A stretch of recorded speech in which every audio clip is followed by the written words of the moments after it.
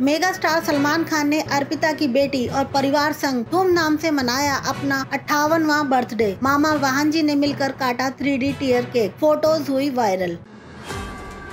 अठारहवें Bhojpuri film award. 2023 में युवा दिलों की धड़कन कहे जाने वाले अभिनेता अरविंद अकेला कल्लू को सर्वश्रेष्ठ अभिनेता के अवार्ड से और अम्रपाली दुबे सर्वश्रेष्ठ अभिनेत्री के अवार्ड से नवाजा गया। वहीं प्रमोद शास्त्री सर्वश्रेष्ठ निर्देशक बने। ऑस्कर विनिंग फ़िल्म पैरासाइट के अभिनेता ली सुन क्यून का निधन हो गया। वह 48 वर्ष के थे।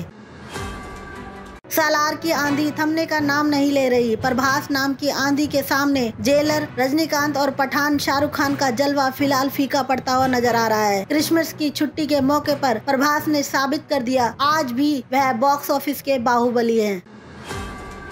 आमिर खान की बेटी, आयरा खान की शादी का जश्न हुआ शुरू। आमिर खान की बेटी, आयरा खान की शादी 3 जनवरी 2024 को नूपुर शिखारे में होगी। शादी के एक सप्ताह पहले ही इसका जश्न शुरू हो चुका है। तस्वीरें हुई वायरल। पंकज त्रिपाठी की फ़िल्म, मैं अटल हूँ का गाना, पहले देश रिलीज़ हो गया है। मैं अटल हूँ, देश के पूर्व प्रधानमंत्री अटल बिहारी वाजपेयी के जीवन पर आधारित फ़िल्म है।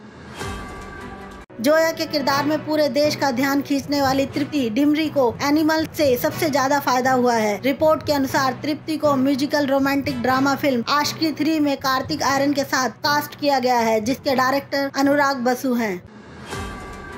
पावर स्टार पवन सिंह का गाना कलकतिया राजा 100 मिलियन व्यूज़ के पार। यश कुमार व निधि मिश्रा की अपकमिंग फ़िल्म लाडो टू की शूटिंग हुई शुरू।